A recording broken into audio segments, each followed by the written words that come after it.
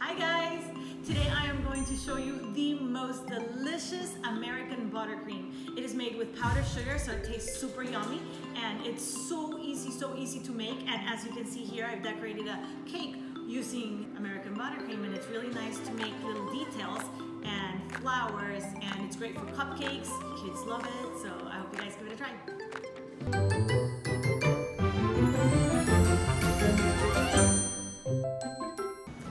Hi guys, today I'm going to show you how to make the most delicious American buttercream.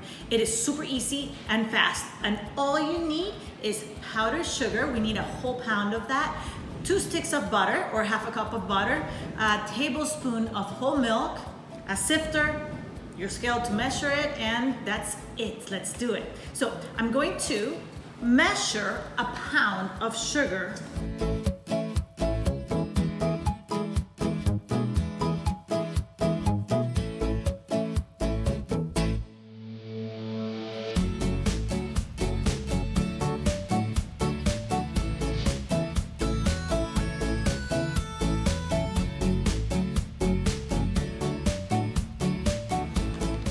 Now we add the two sticks of butter.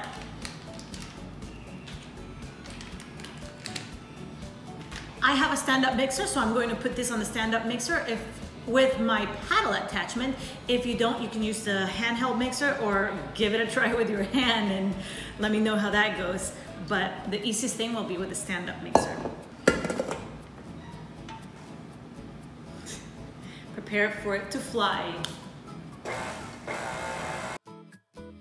Did say before that we needed a whole tablespoon of milk, but you can start with adding a teaspoon, which is what I usually do, and you might find that that's enough for your buttercream. It depends on the consistency you're looking for. If you want to, it depends on what you want to do. If you want to pipe some flowers, you need it to be a little thicker. If you want to pipe some swirls on a cupcake, you might want it softer. So start with a teaspoon, and that's it.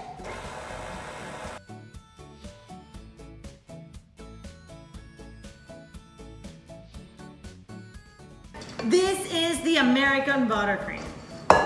There we go. That's it. That's the American buttercream.